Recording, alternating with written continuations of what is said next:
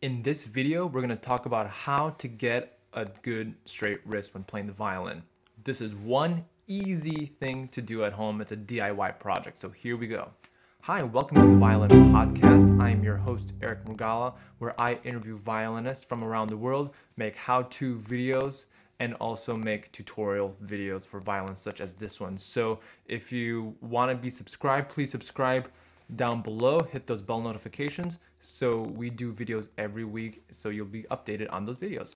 Ah, the dreadful question, how to have a straight wrist while playing the violin. Not as difficult as you think and you can use household materials to actually achieve this straight wrist. Here's what we need we need another toilet paper roll. If you haven't seen my previous tutorial on how to have a perfect bow hold, I'm gonna leave a tag right up here so you can go and watch that one.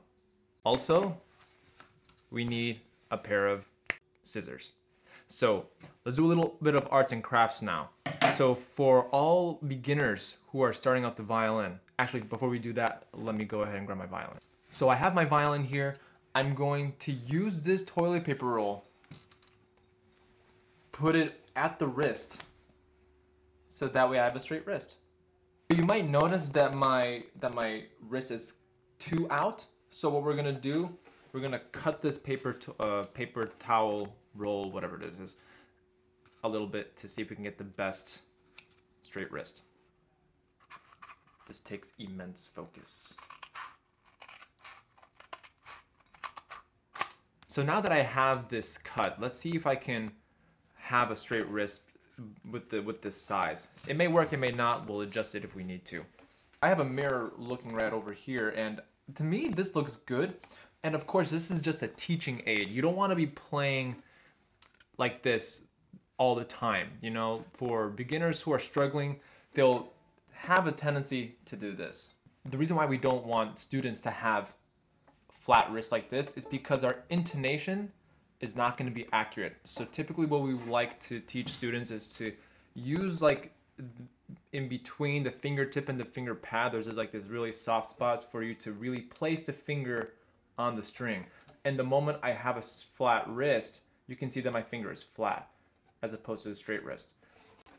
And of course, standard things go where the knuckles should be at the level of the neck or even a little higher depending on how big the hands are of the student, depending on how long the fingers are of the student. So for me, I have big hands, so I might not have to go above the fingerboard with my knuckles. I can kind of use this what I call a finger shelf right over here to really hold that violin here. And there you have it. That we have a straight wrist. And again, we don't want this. We want option B, this. And Let's see. I'm gonna do a little challenge. Let's see if I can actually play something while having the paper towel here. Let's try it.